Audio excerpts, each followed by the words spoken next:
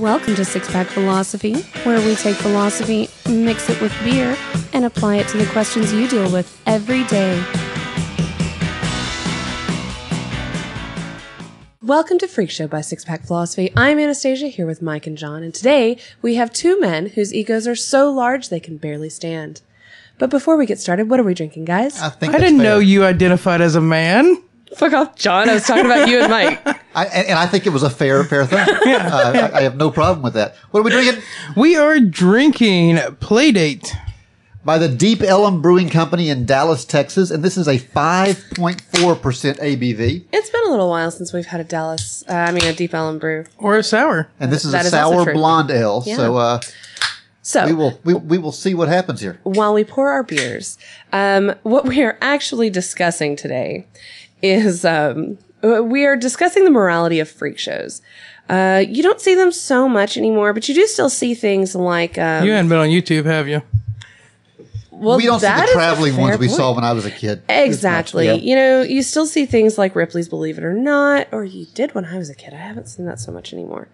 Um, so we still have certain versions Fear of it. Factor, which is not. Act- I think YouTube is a freak show now. yeah. Mm. Yeah. Uh, so, you know, There were those videos we were watching earlier that we will be doing a show about later. oh, Lord No. help us all. Yeah, we will. We will. Yeah. Now everybody's imagination is it, it, it- is going wild. Let it with that, run. so let What it do Let you it run. think we're doing later? Let us know in the comments. Oh, that'll be good. Um, but anyway, yeah. So we're just kind of taking a look at freak shows, asking some questions about morality and consent, and um, is it okay? Yeah, yeah. Let's talk about what a freak show is first off, uh, because again, we don't see them like we used to. Uh, I remember when I was a kid, when the, the carnivals would come through town, there was, but they still had freak shows in them. Did I've never actually seen one. Yeah, yeah. Uh, and you know, it was it was biological rarities. It was, Right. You know, the uh, and sometimes crazy things people could do with their bodies. Yeah, uh, they were usually teamed up with you know feats of of, of, of skill. But, Right. You know the the strong man and the guy that could juggle fire. But there was also you know the tattooed lady, the bearded lady, uh, the the person that was always touted as a missing link. Uh, Yeah. You know because of their The uh, really usually because of a deformity or Yeah. or or uh, skin pigmentation that wasn't natural because of some disease. Right. Well, and, and, and while there is definitely a, a natural component to it, I think as much as anything, freaks, at least for the purposes of the shows, were made as much as they were born. Yeah. Well, yeah, that is a fair Well- point. They had like mummified mermaids and stuff that ended up just being I like think that became what happened. they if- if they you- ran out of Yeah, but if you go back to the you know, to, you know to the earliest days now now you know I think we've probably done this forever. Okay, Mm-hmm. but the earliest things to be, be recognized as freak shows were these people that would that would tour around to the uh, the, the courts of Europe, and they would bring the con- conjoined twins were often Right. brought uh, you know Siamese twins as as freaks of nature or. Uh, uh, what's the disease called where you where, where you, Elephantitis? elephantitis? Or I was thinking of the where you get the pointed uh, Oh, oh crap! I don't remember that one. But those, yeah, that they would be brought in as uh, you know as as missing links and touted as, as these these things. Uh, sometimes pygmies would be be brought in as this stuff. You know, uh, people that just just rarities. Yeah. And I I, I kind of wonder about this. Uh, and while I think it is entirely wrong and immoral to uh, you know to, to parade somebody down around against their will, sometimes these were people that were uh, you know they, they were voluntarily uh, taking something about them and selling it. Well, is think- that immoral at that point? Well, and I think one of the first things that you have to recognize before you explore the morality of of these sorts of uh, attractions is you have to identify what the service is that, that's being rendered and it is feeding human curiosity and and we do definitely have a drive to check out things that are unusual Have you ever been to a World's Fair? I'm No. sorry, John. I jumped Go on. ahead. When I was a kid, I went to the World's Fair in Knoxville. I was very, very young. Uh, but uh, they had a, if I remember correctly, and, and somebody could correct me here, but I remember there being like uh, an Indian village there where they, they brought people in and, and they, they were they, you know they were showing uh, you know the way they lived, and then there was a, a ja- the Japanese area had cultural Japanese, and that's essentially the same thing. You know, it's not really a freak show, but it's it, it's curiosity of the unknown. Yeah. Well, and I, I think there's You've been trying to talk for a minute. Go ahead, John. Um, so I, I, I want gonna to. let him talk. this time. Okay. This is a good show already. Look at this. um, no, I, I want to ask a question because you kind of made an assertion that it's immoral to, to have a freak show uh, against their will. And, and I'm going to ask a question that should leave many of our listeners morally aghast, but I think it's an important examination to make. What is the moral difference in a freak show where the freaks are either kidnapped or held against their will and a zoo? I, So there's free a, will. Free will to me. there is a lot of question about uh, the morality of having zoos at all. There is. Now, we've actually done a show on conservationism, I think, or I don't think it was solely on conservationism, but we did talk a bit about it. yeah. And I think that's the argument that you're going to get from a lot of people is the ecology show we did. Eco- ecocentrism. Maybe that was it. ecocentrism, Yeah. Um, but anyway, so one of the primary functions that zoos serve is um, studying animals to better understand them and conserving endangered species. Because you aren't seeing dogs and cats in zoos. You're seeing um, endangered, critically endangered um, animals in there, and they're trying to preserve the specie- species. Whereas in a freak show, they are not trying to further propagate these um, these rarities. And and I think that's going to be the distinction that a Well, lot no, of people but to find. but I mean, even in a zoo, okay, Okay. So so so there are some species that are trying to propagate, and there are many of these people that they aren't. And I think the balance is, is off. I I think with the pygmies, maybe you could argue that they, they were doing some propagation there. But however, um, we see stuff like uh, ligers or albino tigers, and then we're not trying to make more, you know, of Yeah. these. They're just taking care of them, but the they're you know showing them on display. So I mean, even mm-hmm. there, I, I mean, I, I I think, I think we give a moral pass, and, and and I'm as guilty as anyone to the way we treat animals that we then look in horror upon when we do it to humans. Yeah, and I, th- I think we, we need to examine why that difference exists. I, I guess I guess I'm I'm a little more old fashioned because I just I don't think animals have rights. I don't I don't I don't I want to protect them. I do want I, I don't want you abusing animals. I, I think somebody that does it's a terrible terrible person. But I don't think that they are uh, you, you know creating great governments and creating documents and creating this stuff that that, that says I have these rights. Uh, but neither are conjoined tw- twins. No, well, no, but but they're but they're people, and we call them human rights. Yeah.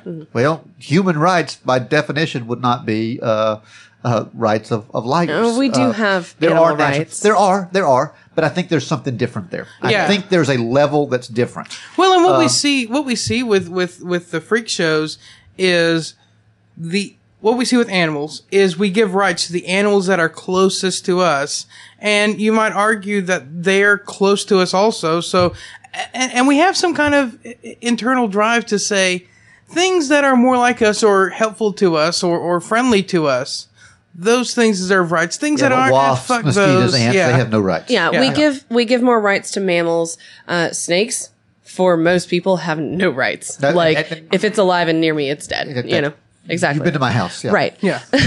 And then, of course, you know, bugs. Like, nobody thinks twice about stepping on a bug, except for John, who, when And I say kill the spider on my pillow, doesn't. Nope. I take it outside. No, I kill or, him. or you just don't do anything with it. He's it. fine. He's killing a mosquito or something. Not on my pillow. Well, th- th- did you It was see? huge. It was the size of my hand. Were there any mosquitoes on your pillow? Were pillow? there any mosquitoes on the pillow? That was It my was this question. big. Were there any the mosquitoes? on- mosquito? By the way, she held her hand up there. If you spider. were just on a, uh, uh, if you're listening on the podcast, Yeah. we need to clip that But- and use it for other things. yes, just holding. Talk to the hand. this big. this big. Yes. Anyway, Around? My God. Mike, Uh, I are you talking girth or inches? What What does this mean? I'm, I'm body, legs. okay. It was uh, missing three. There's a five-legged spider. I got you. This is the length of the legs. You cut buckets. Three down yes. there. See? Now we have a spider. All right. So, Not the point, though. but I, I want to get back to this morality question Do y'all because know how spiders mate? I'll tell you about it later, Mike, and you'll become a- does, it have, obsessed. does it have a cork or a screw? No, and it's going to freak you out. So anyway, go ahead. Now I'm now I'm, I'm, I'm They burrow by into this. your chest. They lay eggs through your mouth, and then a baby like No, shoots out of your it. chest. No, that that was Alien. Oh, that was yes, Alien. yes, You yes. Got, got this, this confused. Sorry. Anyway, you were So, saying. I, I, again, I, I, I wonder about this morality question because, um, you know, I try to be at that, that, that, that point where you are free to do with yourself whatever you want to be. Right. Whatever you want to do. And if you are, uh, you know, if you have a, a, a mutation or, or there's some, some reason why you are different and you choose to be part of a show, I don't know that what you're doing is immoral. yeah. Okay, because you've made a choice. You're being paid for it. This is you're not being forced. But the question then becomes: Is it a choice if your mutation is such a su- i- i- is to such a level that that's the only thing you can do that you can't get a job doing something else? So, um, something that I want to address here is that anybody getting a job, anybody seeking a means of, um, of earning income to support themselves is seeking to exploit something that they believe to be better in themselves than in other, or unique to themselves Sure, sure. than in other people. So I think there is an argument to be made that these people have maybe an easier time identifying their unique feature um, and have decided to capitalize on this particular feature of themselves that that is going to make it easier for them to earn a living because they're not have they're having to compete with with a much smaller pool of people for that money. So I, I think there is. I think there is a moral conundrum here, um, and I think there's a entity, I'll say, that is morally in the wrong. Um, but I don't think it's the ones that the people tend to point to. I, I think the entity with, with the moral issue here is society for not taking better care of their so disadvantaged in their society. But I don't think it's them for taking the opportunity they get. And I don't think it's the one person who is taking care of them in the only way that they know how. Yeah. By giving them a job. I don't think it's those two people. I think it's the fact that society would abandon them if this guy hadn't come around. What what what's society supposed to do? Are, are, are, are you arguing that I am my brother's keeper? Well, Yeah, no. well, I th- I what think I'm so. arguing is that the fact that a woman has a beard may not actually impact, probably doesn't impact whether or not she is capable of being a paralegal. No, but it probably makes it more difficult to get hired. Exactly, and that's that's I think the argument that John's Well, making and I'm is also- they're using a, these physical deformities in a lot of ways. That's not what you're saying. Uh, I, I mean, so so here here's the argument I'm making. If you have, you know, I don't I don't know, legless, you know, uh, or or paraplegic guy who who had some horrible accident and has gotten hurt. And the only way that he has to support himself is to go to the freak show. I'm not making some legal obligation on society that they have to do this. But I think probably most of us could afford to forego a cup of coffee every week, and we could take care of these people. They they'll never be rich, but they'll be taken care of. And I think that's a moral thing to do. Or Well, but okay, okay. Colonel Tom Thumb. Uh, I've forgotten how tall he was, three foot something, a little short, short, short. He was P.T. Barnum found him, uh, and he toured with Colonel Tom Thumb for years. Claimed he was a colonel in what American Revolution, I think. I don't Yeah. remember, uh, but uh, in a time period when most work was physical labor, Colonel Tom Thumb was not capable of doing that kind of labor. He was not. He just didn't have that physical ability to do the way that men made right, a career. He found a way to do this. Right. But he was a he was an oddity. He was ridiculed. He was he was he was made fun. Now he became a celebrity, but are the people that went and saw that uh, doing something immoral by going to that? I don't think it, I don't think it's necessarily immoral to go. I think if you go and you're an asshole and you're the one chunking tomatoes, yeah, it's probably immoral. But I don't think necessarily just showing up and and you know, in in some way you're supporting these people.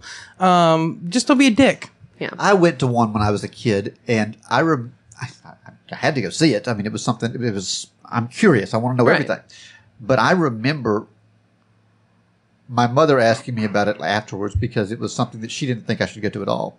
But it's going to be your choice. You go, and I did. and afterwards talking and, and felt dirty for it. I just felt like I was like I was part of the problem. Yeah. Does that make sense? It Yeah. does. Well, I mean, I again, don't know that I still wouldn't go Yeah. out, out of curiosity, but but you know, there's something there's something in there that is inherently uh, wrong in my mind Mm-hmm. with being part of a system that paints somebody as less than others. And that's what you're doing is you're that that show generally speaking is painting somebody as Yeah. less Yes. than human or I won't even say less as other than human. more Yeah. animal-like. Yeah, Yeah. sometimes. Well, and, and that's kind of the thing is A zoo. yeah, is is what these do is they perpetuate this idea that um, it's okay to exploit somebody for being different than you. Um, so we can look at this and say, is acceptance of freak shows a um, is it contributing to society having a harder time getting past this others are bad um, idea. Well, and uh, you know, I, going back to the animal equivalents, and I don't want to lean on this too heavily. I think there's some interesting gems to be gleaned here, but I, I don't want to sound like I'm saying these people are are animals. Ergo, this this line of argumentation is more valid. I think this line of argumentation could be used in a, in a lot of things, Right. not just freak shows. However, we have a new cat. Okay. We found a stray cat at, at the local draft house and we took it home. We took care of it. I think most communities and societies think it is a good idea to adopt local animals, take care of them, kind of take that burden off, them off the street, spay Exactly. and neuter them, spay and neuter your pets, you guys. Yes. Uh, I, I think most societies think that's a good idea. Now, if a guy came through town and said, Hey, I got an idea. It's going to take care of all the strays around here. I'm going to make like a circus dog and cat show. And he collects up all the stray animals and trains them and makes a circus dog and cat show. He was doing what the rest of society refused to do. So I don't necessarily think he's immoral as long as he's not, you know, abusing these animals. Right. But I think the more moral, idealistic thing to do would be for society, the community to just proactively take care of its issues before the you're circus guy comes through. So you're saying that there should be a program like similar to um, hiring heroes for hiring freaks, like the programs that are already established to hire uh, military veterans. Like we could set up a private charity to uh, fund, promote, and distribute information on hiring people with physical oddities. I, I don't. I, I want to be clear and make sure that that the distinguishment is made. That I'm not trying to come in and offer some hard solution on whether they should be hired or given welfare or put up in a home or, or Right. what the solution should be. But I'm generally saying society through private interactions should take care of its people so they Maybe don't have not- to go to the freak shows. Maybe not society should, but individuals should. Indiv- well, yes. Individuals make well, up I just, society. I just, I, I, I, they do, Yeah. but when you when you say society, people hear state. Yeah. and- People and- should not hear that. I, I, but they Yeah. do. I know. That's why I want to make And- sure and we're, the- we're- Yeah, we're and I'm clear not here. saying That the could be a state. show. I'm Yeah. not saying the state should. I- I, think that has its own moral issues, and then we get into moral trade off. I think the idealistic solution is for individuals to take care of their community. We have people, we have the locksmith that roams around town. You see him sometimes standing in the middle of 69 talking to himself. Everybody knows this guy has problems.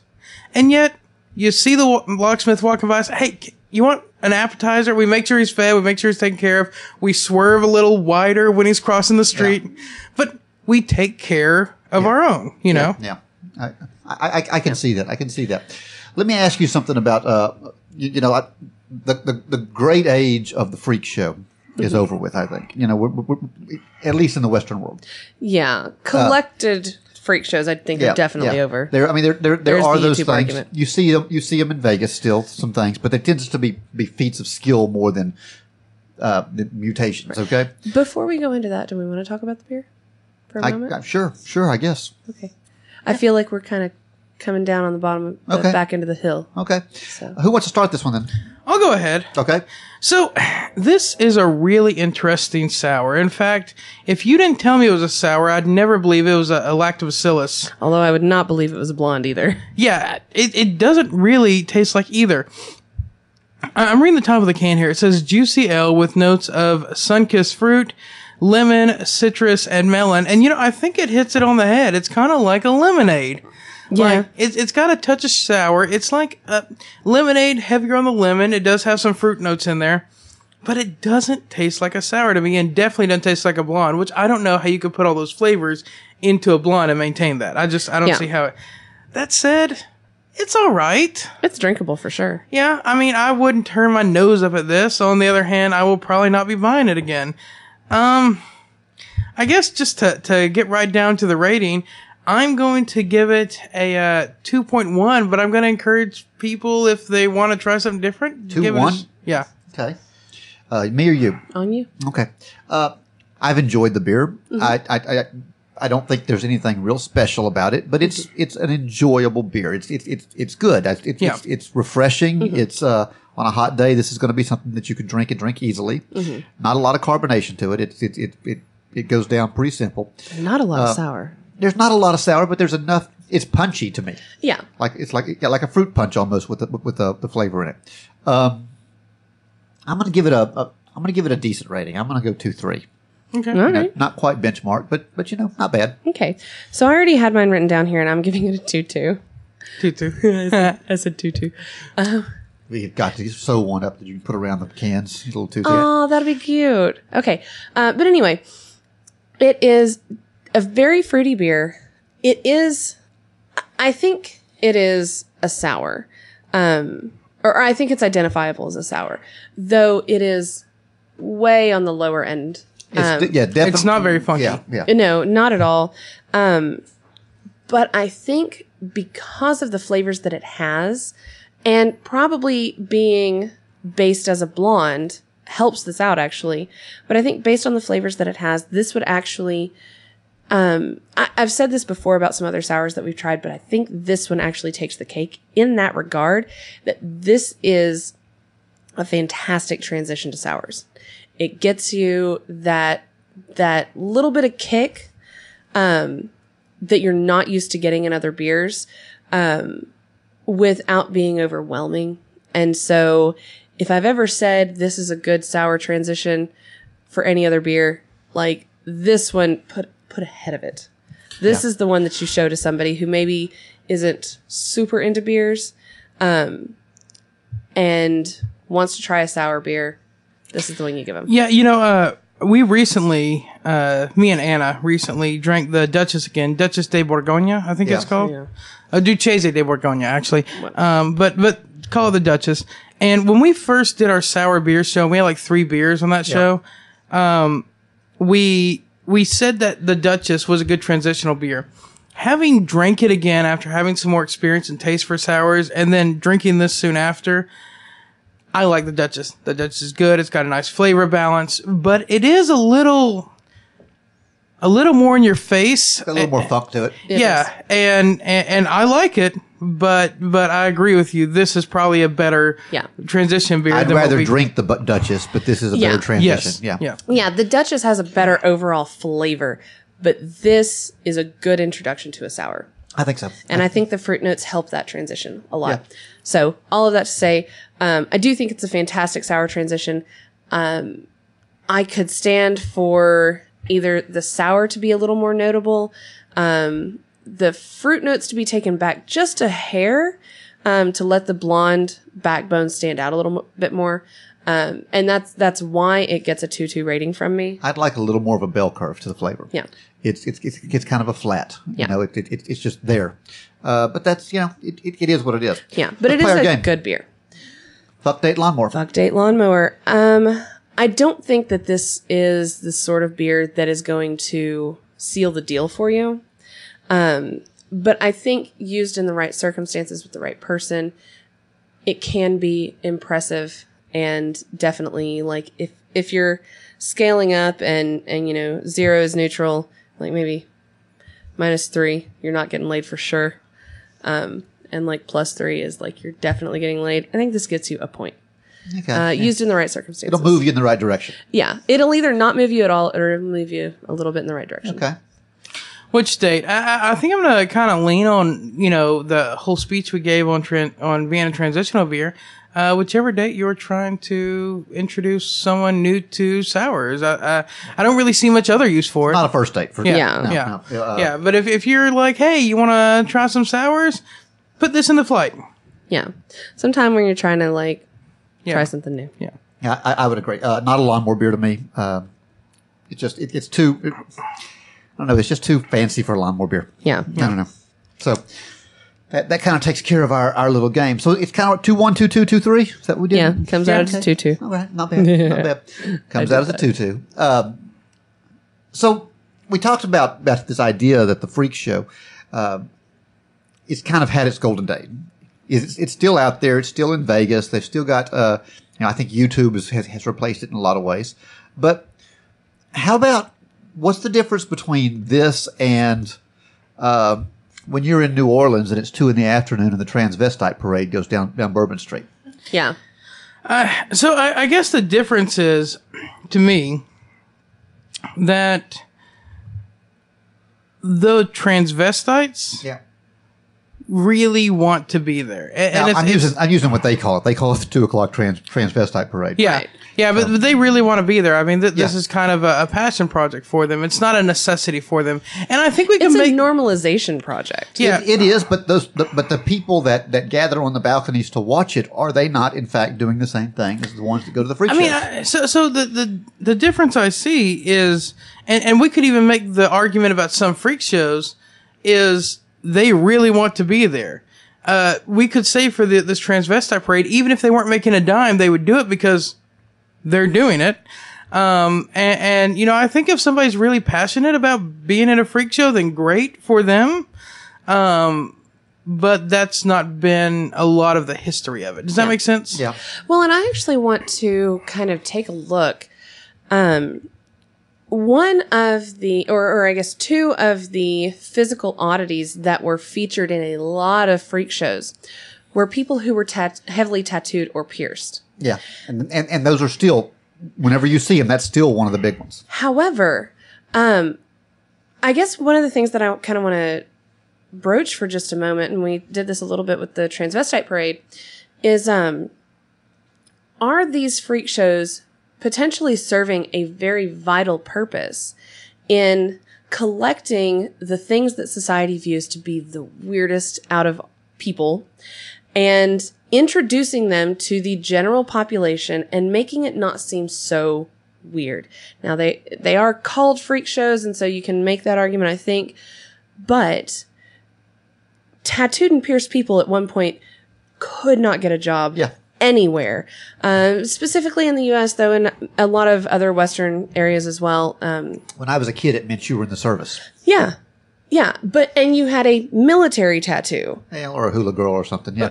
But you had something. which is yeah. essentially a military tattoo. Yeah. Um, It means you set your base in Hawaii. Yeah. yes. Um, but what we're seeing now, like, I went up to Jonah's school the other day, and the freaking receptionist is in capri pants, and I can see a tattoo on her ankle. Like, um, I don't get looked at like I'm crazy with a nose ring in Yeah. anymore. Um, like having piercings and tattoos is becoming less of a thing. And could that have been contributed to by things like freak shows where people, Is that normalization? yeah, exactly. The Overton window movers. Yeah, yeah, yeah. Yeah. It's a good point. I Fucking love that window. Maybe that's the purpose of the freak show is to move that Overton window. Yeah.